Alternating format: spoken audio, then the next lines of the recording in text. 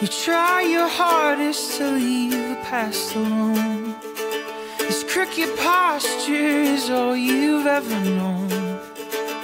It is the consequence of.